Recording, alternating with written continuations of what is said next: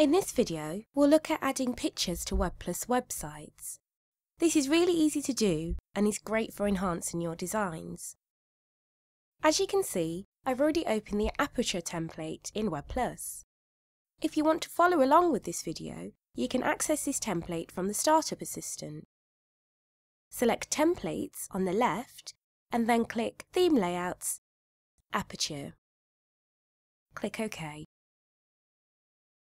The home page is displayed in the workspace and selected in the Site tab. Throughout the design, you'll see these envelope-shaped placeholders, which are empty picture frames. Let's add a picture to this placeholder frame now.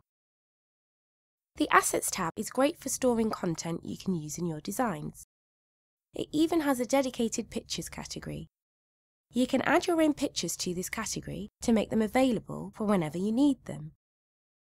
To do this, click Add at the bottom of the Pictures category, navigate to your pictures and select the ones you want to use. You could use Control-click to select multiple photos or Shift-click to select adjacent photos. Then click Open. Your pictures will populate the Pictures category on the Assets tab. In the category, select the picture you want to add and then drag it onto the placeholder frame. When the inside of the frame turns blue, release the mouse button. The picture has appeared in the frame and has been cropped to fit. OK, let's look at adding pictures to a blank page. On the Site tab on the right, click the down arrow next to Add New Page or Link and click New Blank Page. Give your new page a name and then click OK. You'll see that the new page has been added to the Site tab. You can insert pictures in a variety of ways. Click Insert Picture from Disk on the basic toolbar on the left, or from the Insert menu at the top, click Picture. Here there are a number of options to choose from. You can insert a picture from disk, from Assets, or from a remote link. If you've got a scanner and want to add pictures direct from the device, select TWAIN and then choose to select Source or Acquire. Finally, you can insert empty picture frames. This is particularly useful if you're starting from scratch and want to define the positioning of your pictures on your site, but aren't quite sure which pictures you'll be adding just yet. To insert an empty frame, select the option from the menu, and then click and drag the frame onto your page. I want to add another frame to the page that's exactly the same size as this one. The quickest way to do this is to copy the frame. Select it and then press the Control key on your keyboard. Drag away from the first frame and you'll see another identical frame appear.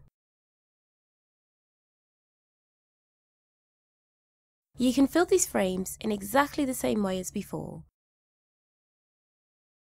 If you change your mind, simply drag another picture onto the frame.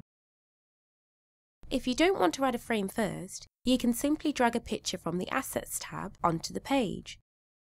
Resize it using the resize handles and then reposition it as required. Dynamic guides and margins may appear as you move the pictures around the page. Use these to make sure your pictures are lined up correctly and are equally spaced. See WebPlus Help for more information. I'll add another placeholder frame to fill up this empty space. If you select an empty picture frame, you'll see two buttons underneath. These are the Replace Picture from Disk and Replace Picture from Assets buttons, which provide another way of filling frames with pictures. I'll select Replace Picture from Disk, select a picture, and click Open. Now there is a picture in the frame. Several other buttons have appeared in the control bar below the frame, and these can be used to improve picture composition by zoom and pan. For more information, Watch the second video in this series, Pictures 2, Framed Picture Positioning. Before we finish, let's look at adding a stylish outline to our pictures. With a picture selected, select the Line tab at the top right of the workspace. Drag the slider to the right to increase the width of the line. Keep an eye on the selected picture to see how the outline looks. To change the colour of the line, select the Colour tab and then click the Line button. Drag the sliders to find out a colour you like, or select a point on the colour spectrum below. I'd like a white outline, so I'll click the white swatch on the left of the spectrum. Repeat this process to enhance your other pictures. And that's it.